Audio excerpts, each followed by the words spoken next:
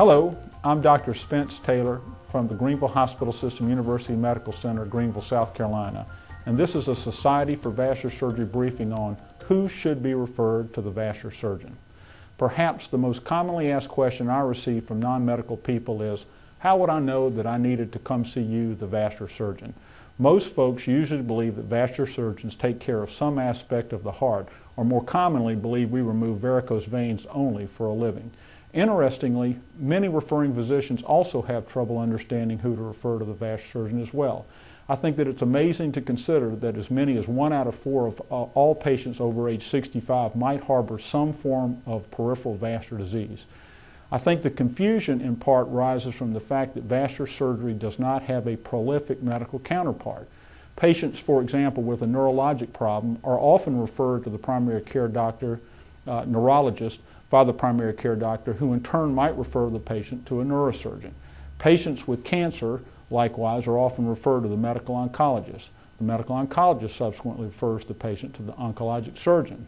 I think most primary care physicians see patients with peripheral vascular disease, realize that symptoms are not severe enough to warrant surgery, but are reluctant to send the patient to the vascular surgeon, assuming he cares only to see patients who are ready for the operating room.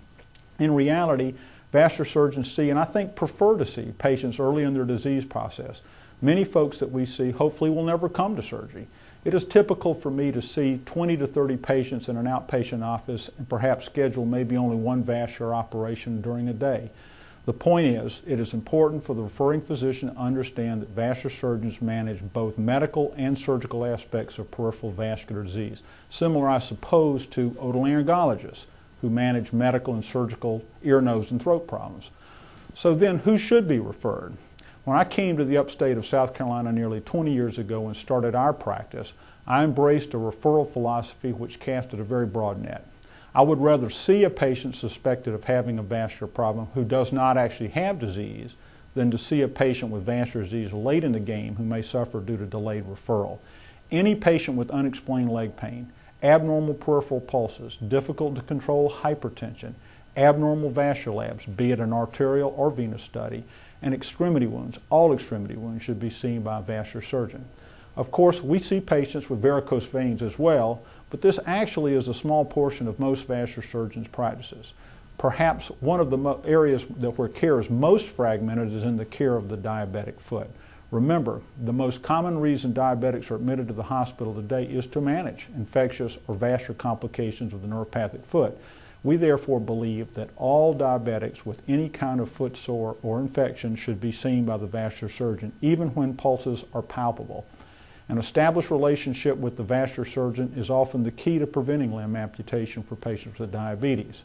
Other patients who should be referred to the vascular surgeon include patients with aneurysms, patients with aortic dissections, and patients with hemispheric neurologic events and any carotid atherosclerosis. Lastly, when necessary, most vascular surgeons do perform major limb amputations, especially on patients whom they've established long-term relationships with. These operations, when performed thoroughly, and thoughtfully often maintain functionality after prosthetic rehabilitation. And remember, patients who succumb to amputation require close follow-up for vascular problems that occur to the other limb. I think in summary and in general, most vascular specialists agree that the stakes of a missed vascular diagnosis are so high that any patient with a suspected vascular problem should be referred for prompt consultation. This briefing is made possible through a grant from Cook Medical. To learn more about vascular disease, visit vascularweb.org.